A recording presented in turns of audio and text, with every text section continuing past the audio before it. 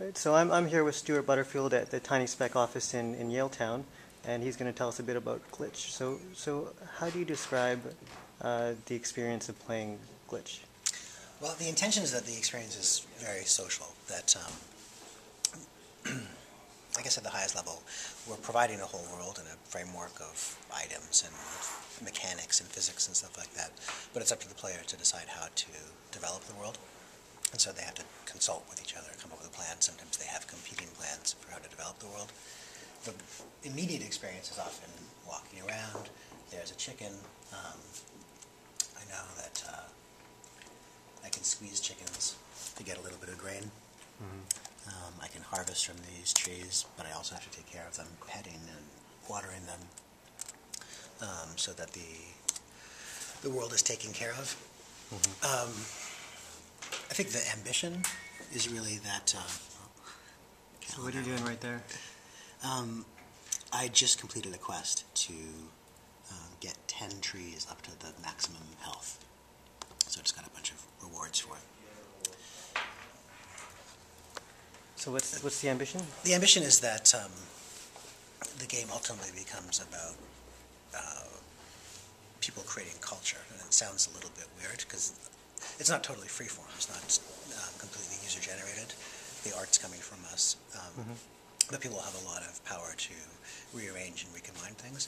And there are already a number of, and there'll be more societal level mechanics. So people can create groups which can be modeled more like a cult or a religion or a corporation or whatever. I mean, obviously, it's often, mostly very tongue in cheek. Um, but from that, they develop culture and decide how to expand the world and how to grow it and what parts of it to support and what parts of it to let go. Um, how does, uh, you know, what's the relationship between uh, this game and, and the game that, you know, ultimately created uh, Flickr? Um, well, they're definitely they have the same germ of an idea, but um, that game was started in 2002. And it's a totally different world. I mean, technologically, there's a lot more free and open source software. Computers are faster, hardware is cheaper, and most significantly, uh, there's a lot more people online. I mean, I think it's almost like the the proverbial frog in the slowly boiling water that we don't notice what a big change it is that almost everyone's on Facebook, um, or that almost everyone spends a significant portion of their discretionary time online.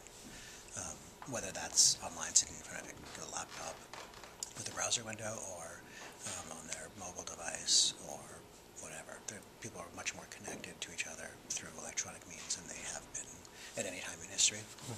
Um, and that makes a big difference in building a game like this. Just a much bigger audience, a much bigger um, set of possibilities for how we develop it. What's, what's new and different about uh, this game compared to other MMOs? Um, well, I don't. There are some. Actually, I can't really think of any MMOs that aren't about fighting in the end. Um, there's a lot of kind of virtual world games that aren't very game-like, that don't involve much fighting. Um, but this isn't really like that either. There's a lot more game structure to this. So, um, I mean, I'd, say that's the biggest thing, is that it's neither totally open-ended, like say something like Second Life, where you're just plopped in and you're like, go for it. You get a blank slate and a bunch of um, almost like programmers' tools to script the world. Um, but it's also not something like um, uh, World of Warcraft or Asheron's Call or Eve or Darkfall or any number of another, you know, those games where you have swords and cast spells and try to kill each other. hmm So, so how are players going to help you guys uh, create the world? Um, well, they literally build it. I mean, they're unlocking uh, new areas, and we'll stay ahead of them. Whichever direction they push in, we'll continue developing content in in that style.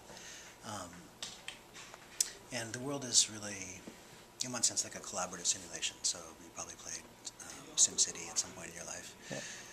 Rather than one person being the top-down god controlling every all the little ants, it's um, a bottom-up emergent simulation where people are making individual decisions about how they want to play and how they want the world to go, and then the simulation changes according to that.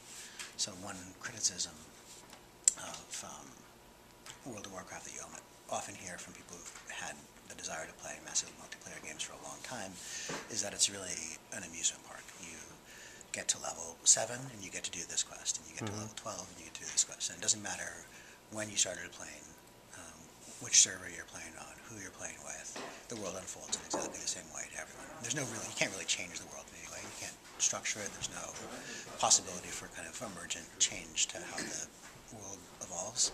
It's just like being on a roller coaster. This is the part that goes down, and then it goes up, and here's a loop, and you experience that. And having said that, nothing wrong with World of Warcraft. Obviously, it's been Yeah. incredibly successful, and a lot of people really like it. Um, this is just different. The intent here, and it's experimental and maybe a little bit risky, is that um, in the context of a game like Structure, giving people the power to evolve the world in the direction they want to see it evolve will produce results that are more interesting f- for a certain class of player. Mm-hmm. Okay, well, thanks, Stewart. No problem.